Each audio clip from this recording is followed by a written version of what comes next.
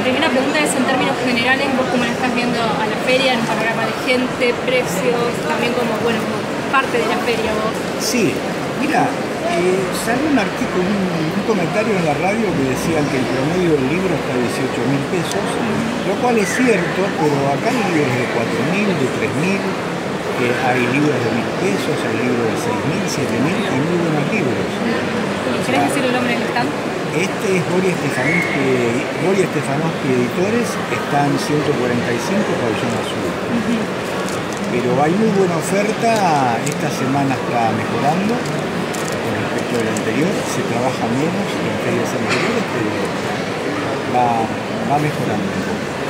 Bueno, vos sos escritor también, me sí. comentaste, y asumo que sos lector también. Obviamente. Primero como todo escritor. Después eh, docente universitario.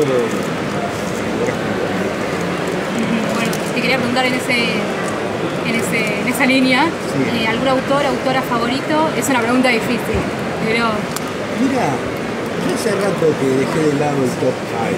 Sí. Eh, tengo, me gusta la literatura rusa, me gustan los japoneses, eh, me gusta mucho Sader, Onetti, en Latinoamérica, me gustan los mexicanos, o sea, eh, hay, hay, buenas literaturas eh, en, en, muchos países, por supuesto que la literatura americana me gusta, la europea me gusta, es muy nutrida la literatura y muy diversa y, y bueno, y eso le hace bien, ¿no?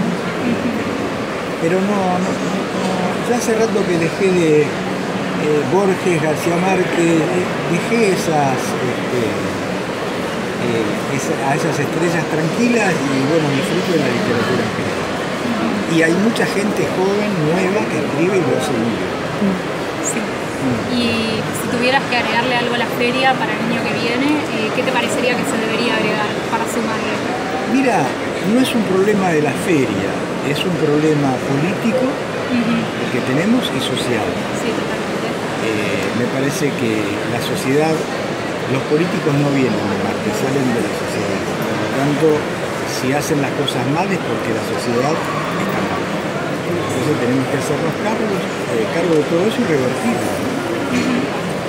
Eh, y, darle la posibilidad a los cambios, porque los que tienen posición ganada no, no quieren perder sus privilegios y ese es un problema.